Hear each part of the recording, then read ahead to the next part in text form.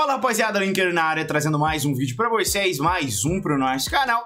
Nesse vídeo vou te mostrar as melhores configurações do controle e também de câmera, que é uma parada que vocês me perguntam sempre. Qual câmera você joga? Vira e mexe, tem aí uma pergunta dessa em vídeo. Então para você primeiramente mudar os seus controles, você vai vir aqui em personalizar, a gente tem configurações e tem personalizar controles. E aqui a gente tem um punhado de coisas que eu restaurei aqui padrão para poder mostrar para vocês quais são as melhores configurações. Mas antes da gente continuar esse vídeo, se lá no finalzinho você que for novo falar, pô, gostei, legal, se inscreve e ativa o sininho porque a gente tem três vídeos todos os dias com foco total em te ajudar no Ultimate Team, fechou? Bora pra cima então, e pra você que já é antigo, você pode deixar voadora no like. Então a nossa primeira opção aqui é de controle competitivo. Para você que joga Ultimate Team, toda partida online é no competitivo. Então já pode deixar logo aqui no sim que todo o restante vai ser mudado automaticamente aqui para você, ó. Você colocou no sim, o resto tudo já vai ser normal, olha lá. Você não pode nem mexer mais. Você deixando não, você pode mexer, mas a partir do momento que você colocou no sim, tudo já se torna baseado no que é o controle competitivo dentro do Ultimate Team. Então a condição ágil é não, fica tudo não ali e a gente já vai pular direto pro próximo. O que, que quer dizer esse controle competitivo? A opção personaliza a jogabilidade com configurações competitivas, está sempre ativadas em modos de jogos competitivo online. Então não adianta deixar não, sendo que sempre vai ser sim lá no Ultimate Team. Então já deixando sim. A gente tem aqui assistências de bola enfiada, né? A direção da força da bola enfiada terão uma assistência parcial e dependerão mais de onde você apontar. Então, para mim aqui, semi é a melhor opção disparado.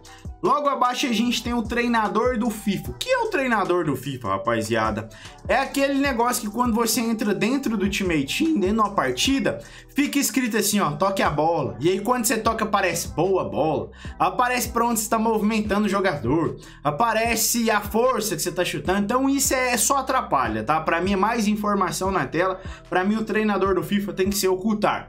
Logo abaixo aqui a gente tem finalização calibrada, onde você, né, sabe aquela finalização calibrada que mostra ali a setinha verde aparecendo em cima da cabeça do jogador. Então, para mim isso aqui, você pode deixar sim, tá? E aí você vai ver a barrinha na cabeça do jogador. Para mim é viável, principalmente para quem está aprendendo a finalização calibrada. Para quem não sabe como funciona a finalização calibrada, né, é bem viável. Para algumas pessoas que já sabem, já fica meio que de forma automática o timing exato de bater. Mas eu acho que ajuda, então pode deixar assim. Aqui abaixo a gente tem o indicador de troca de jogador. O indicador de troca de jogador mostra para qual jogador você trocará ao apertar o L1 né, da troca. Então, sempre quando você estiver jogando vai ter um que você está controlando e vai ter um outro jogador com o um indicador na cabeça que vai te mostrar para qual jogador vai a bola se você apertar o L1. Então, para mim, isso é bem viável de se deixar ativo, porque você vai ter sempre a certeza de que se você apertar o L1, a bola, a bola não, né? A seta vai para aquele cara. Aqui a gente tem assistência no bloqueio de passe, com certeza você quer uma assistência no bloqueio de passe, porque aí vai te ajudar a marcar. Então é sim, sim, tivesse como 8 sim aqui seria 8, sim. Aqui a gente tem a troca automática, rapaziada. O que é a troca automática? Quando a bola passa perto do jogador ou acontece alguma ação, a inteligência artificial, às vezes a burrice artificial, troca a seta para você. Então, assim, algumas pessoas gostam de deixar manual, para mim não vira. Algumas pessoas gostam de deixar apenas rebote. Para mim, o melhor aqui é bola aérea e rebote. Se você colocar automático, a bola passou do lado do seu cara. Você tá querendo posicionar um jogador defensivamente, a máquina tá trocando para você. Então, bola aérea e rebote. Por quê? Cruzamento vai te ajudar. E se por acaso uma bola sobrar, vai trocar também. Então, para mim, essa é a melhor assim disparado, tá? Bola aérea e rebote. Logo aqui abaixo, a gente tem uma assistência de movimentação de troca automática. Vamos ler para que vocês saibam. A assistência na troca automática vai manter o jogador em movimento na mesma direção por um curto período, né, por um curto espaço de tempo. Assim você terá algum tempo para assumir o controle do novo jogador. Quanto maior for a assistência, maior o tempo de corrida. Então esse aqui você pode deixar baixa, tá? Baixa para mim, tá beleza. Logo abaixo a gente tem a assistência para afastar a bola. A direção da força do chute são totalmente assistidos e não levam em consideração o seu comando direcional. Aqui a gente tem a opção clássica e tem a opção direcional. Para mim a opção clássica é a melhor. Logo aqui abaixo a gente tem o travar atleta. Vincule-se a um jogador. Na verdade, isso aqui é o player lock, né, rapaziada? Para quem sabe ativar o player lock, é, pode deixar o sim para você que não sabe deixa não, mas eu acho que o viável é deixar o sim o player lock, né, mano? Porque você vai, né, quem não sabe fazer vai saber fazer, então player lock sim. Aqui a gente tem a troca de ícone. Como que funciona a troca de ícone?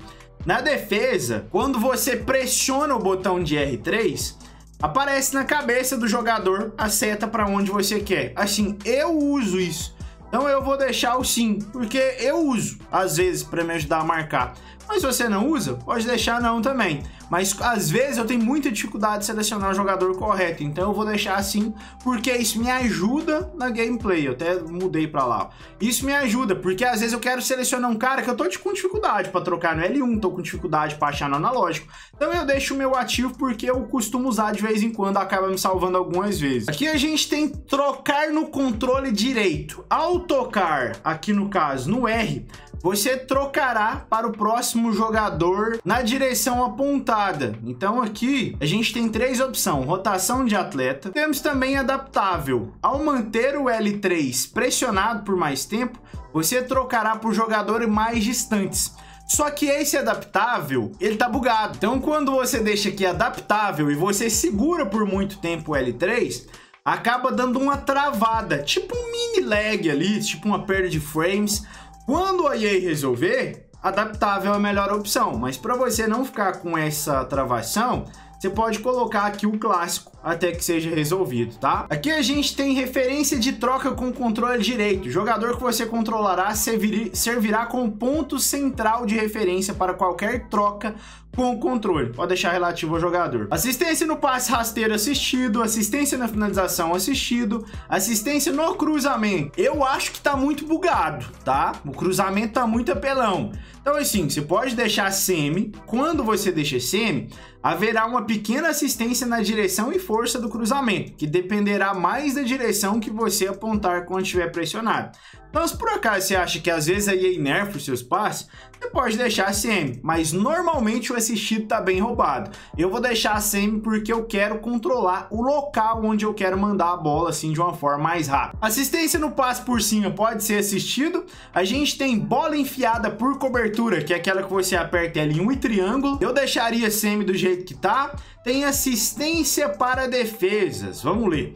Bolas próximas ao corpo serão defendidas automaticamente. Nas outras, será preciso acertar o posicionamento tempo de ação haverá uma assistência na direção. A semi faz o que? Bolas próximas ao corpo serão defendidas automaticamente.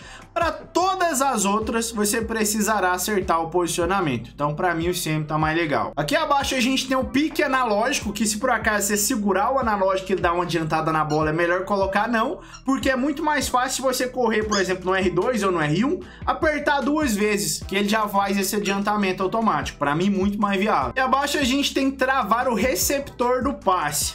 O receptor do passe no tarde ele é fixado mais tarde possível, perto do momento em que o passe é realizado. E tem início da animação. O receptor do passe é fixado cedo, no momento em que começa a animação. Então, para mim, esse aqui é o mais viável.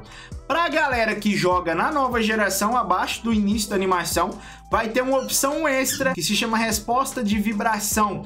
Eu deixaria desativada assim com 100% de certeza. E além disso, para a nova geração também tem um efeito de gatilho que eu também colocaria não. Então depois que você fez isso aqui, basta você voltar e a gente vem para a câmera, aqui em opção de jogo. Normalmente, o pessoal gosta da câmera mais perto, né? Tipo uma panorâmica assim, transmissão TV. Essa que é a padrão desse ano, né? Tá aparecendo logo ali abaixo. Nessa padrão, é legal de jogar, você acaba vendo mais de perto, mas em alguns lances é mais difícil marcar porque você não vê a bola direito. Então eu jogo em todo jogo, tá? De toda forma, eu gosto de jogar no Call Whip. Por quê?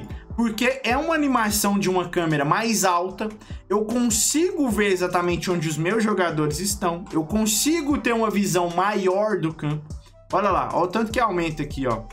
Por exemplo, se eu colocar a dinâmica de pertinho, aérea profissional não dá, né, gente? Transmissão TV2 não dá também. Então, assim, a padrão é essa.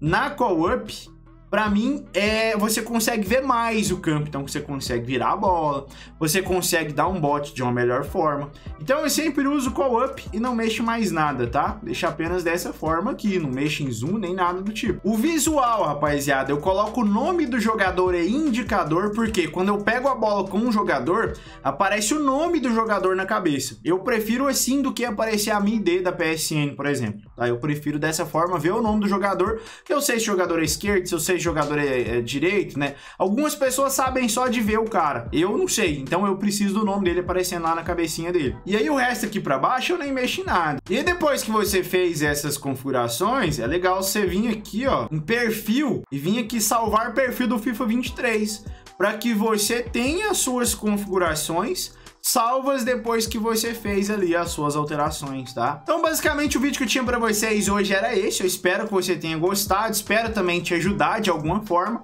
Se por acaso você sentir alguma dificuldade em alguma coisa, é um tempo de costume, adaptação, mas nada te impede ali também de mudar. Quando a EA resolveu o problema do, de segurar aqui, né, para você selecionar o jogador que você quer, para mim essa parte de segurar aqui vai ser muito melhor do que a troca de icon e tem que ser ativada, tá? Então a gente tem que esperar a EA resolver esse problema para poder ativar lá, para não ficar com aquela travadinha. Tamo junto demais, se inscreve no canal, ativa o sininho, aquele abraço, deixa muito like, compartilha com seu amigo, tamo junto, é nóis, e eu fui!